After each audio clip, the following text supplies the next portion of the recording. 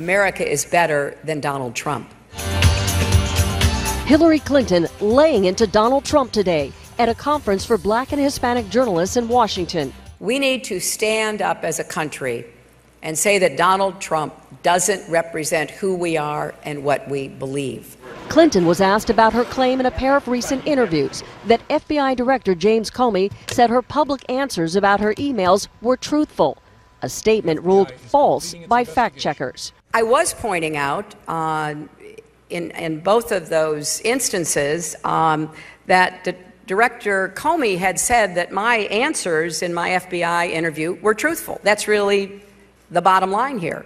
I may have short circuited it, and for that, I, uh, you know, will try to clarify because I think, you know, Chris Wallace and I were probably talking past each other because, of course, he could only talk to what I had told the FBI, and I appreciated that. Clinton also addressed questions about her struggles with voters who do not see her as honest and trustworthy. Every time I have done a job, people have counted on me and trusted me. I take it seriously.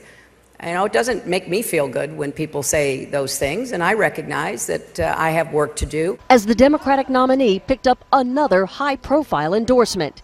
In a New York Times op ed today, former CIA Director Mike Morell said he'd be voting for Clinton in November and warned of Trump's impact on the world stage, saying, quote, Mr. Trump has no experience on national security.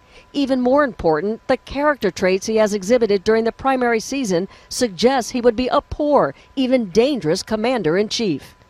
Morell also slammed Trump's praise of Russian President Vladimir Putin, saying, quote, in the intelligence business, we would say that Mr. Putin had recruited Mr. Trump as an unwitting agent of the Russian Federation. The Clinton campaign also releasing a new television ad featuring conservatives critical of Trump's foreign policy views. If he governs consistent with some of the things he said as a candidate, I would be very frightened. Nationally, Clinton's lead over Trump continues to widen. An upswing helped perhaps by President Obama's rising job approval rating and a positive jobs report.